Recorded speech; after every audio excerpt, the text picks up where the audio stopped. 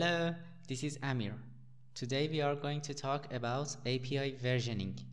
Before we start, I should mention that this is a complimentary video to a blog post I wrote a while back.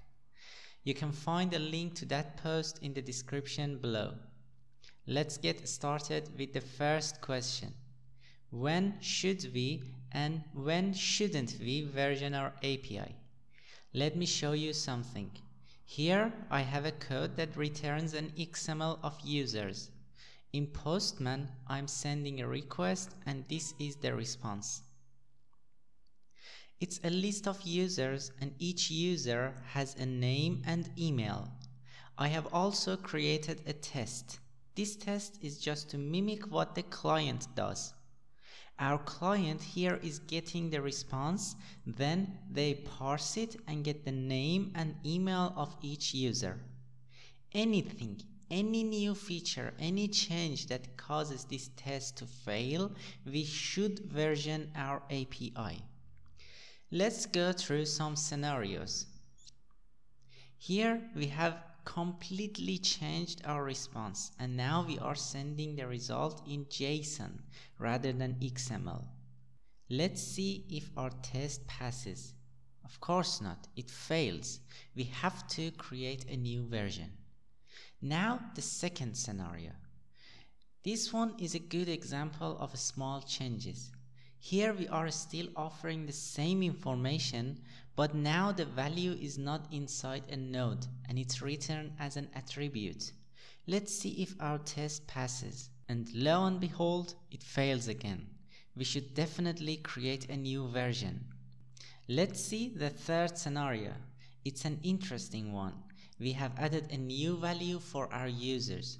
Now the client can see age of each user as well. Let's see if our test passes and yes, it passes. In this case, there is no need to create a new version to our API.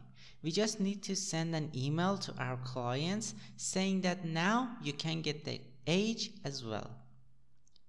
And the last scenario is a very good example because it's exactly like scenario 1, but now you are sending JSON not as the default response you are sending XML as default, but if the user specifies the accept as application JSON, then you will send them a JSON format.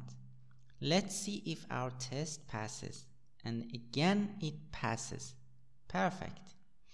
In this scenario, you should send an updated documentation to your client and inform them that now they can get JSON as well. You don't need to version the API itself.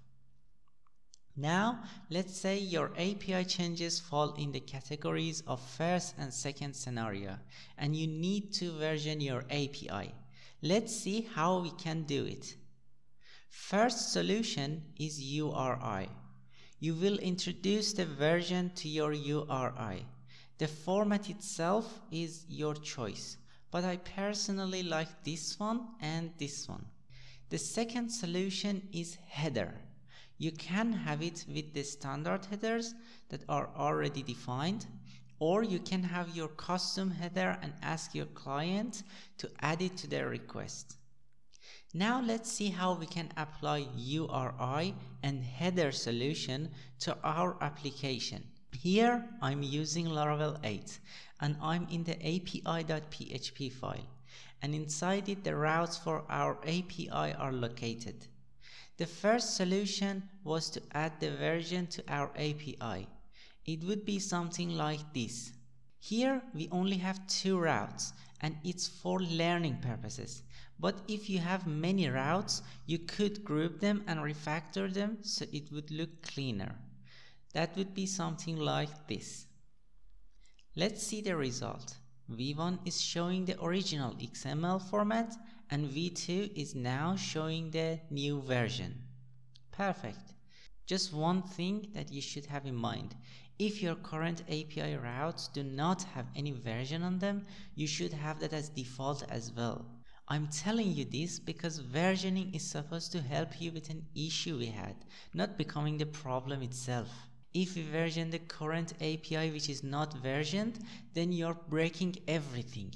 Redirect is an option, but the client has a choice to ignore the redirects. The second solution is header. We can check the header and parse it and get the version. Accept header is by default in all the requests, but if you have decided to have a custom header for versioning of your API, you should check if that exists first and then check the version. Just a quick recap. We talked about different scenarios that you should decide if your API needs versioning or not. We talked about different ways we could version our API and the recommended ways are header and URI. We also talked about ways to do it in your Laravel application. And finally, this is my very first video on YouTube, so if you like what you learned, like and subscribe. That would be a great motivation to do more videos. If you have any suggestion or questions, please leave a comment below and I try to answer them as soon as possible. That's it. Have a wonderful day.